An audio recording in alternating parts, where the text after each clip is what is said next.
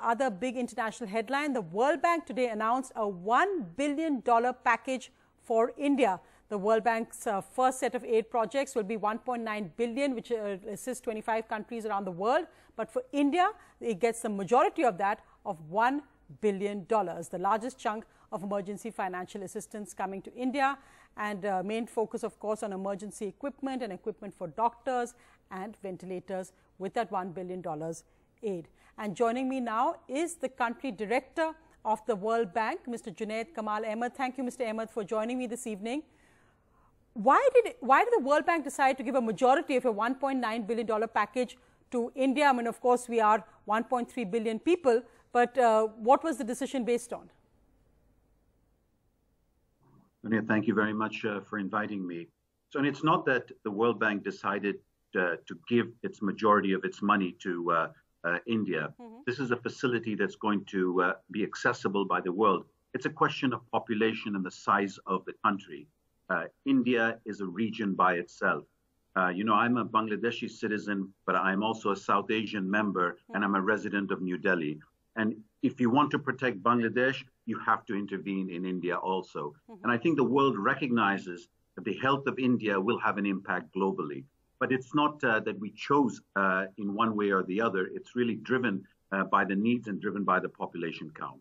No, absolutely. And I think really the India model, which is emerging of how we are fighting the coronavirus outbreak, is something that I think many other countries are looking at as well. And uh, just to uh, just to ask on that, because uh, there's been so much focus on actually right now saving lives, just the top priority. But there are also so many questions are linked to that. For instance, the economy, what the global impact of lockdowns will be on the economy and people's lives in the financial sense. What does the World Bank see this as? What will the impact be?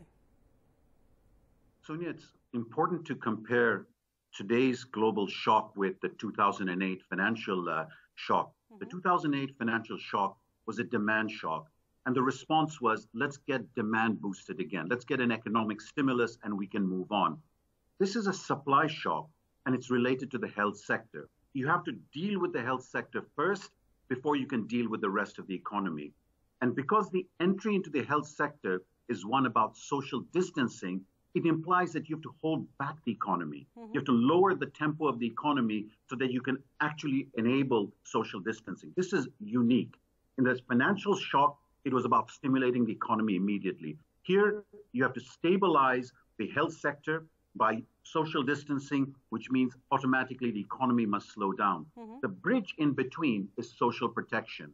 In other words, you have to bridge the poor, you have to bridge the economy, stabilize the economy that once you're able to maintain a stabilization of the health, then you can in, in, intervene and create that economic stimulus. So it's a very different storyline of how to engage. And around the world, you're beginning to see different engagements by different country in social distancing, which is really related uh, to the health uh, health story.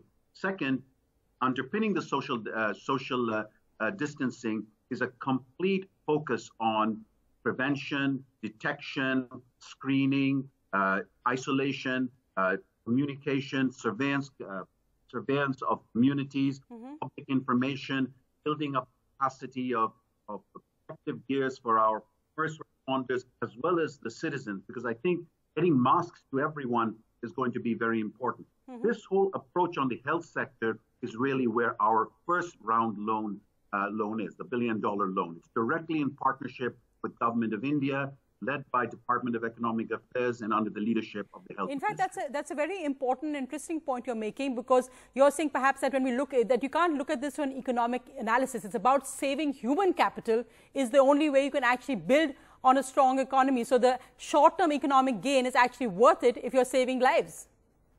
That's exactly right. That's exactly right. And that's why connecting the health expenditure to the social protection program, and in particular, the Pradhan Mantri uh, Garib Kalyan is the first step towards that social protection of ensuring that the very poor have access to resources and are able to access medical services. By the way, our program is really uh, is really put through the public health sector. So this is about district hospitals. This is about primary health clinics. It's about the local.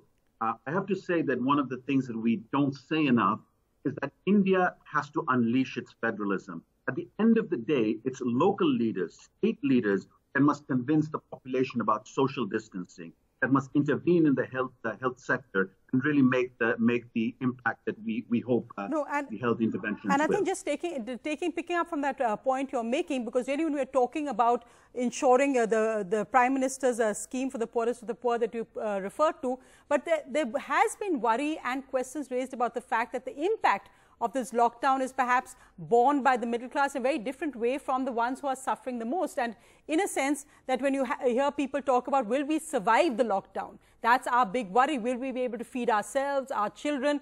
We'll worry about the virus later, but our first priority is making sure that hunger is not something which is actually uh, impacting us and our lives, our social capital. Yes, absolutely. And I, I would add to that remember that India the, the unorganized sector, the informal sector, is a very vital part of your economy. So protecting the informal sector and the labor there is extremely important. I really welcome the fact that the uh, government has come up with a social protection uh, program, and they're now uh, discussing with us and other multilaterals how to strengthen that social uh, social uh, protection program. Issues of migrants, issues of unorganized uh, uh, workers? How do you get them the resources? Now, here, India has an advantage. You have Aadhaar, you have an IT system, you have Jan Dhan, you have uh, uh, the JAM process. You really can scale this up, and that's what we're going to be focusing on immediately now that we've taken uh, the the loan on uh, on the health uh, to the board. The next right. program will be on the social protection. Precisely what you're saying. Ensure poor are protected while the health interventions are happening before exactly. the economic stimulus. Because I in. think those first uh, 36 hours after that announcement were really heart wrenching to see those scenes of migrant labor moving. But thank you so much, Mr. Ahmad, for joining us, uh, detailing the World Bank and India's plans for that $1 billion aid uh, package. Uh, thanks very much.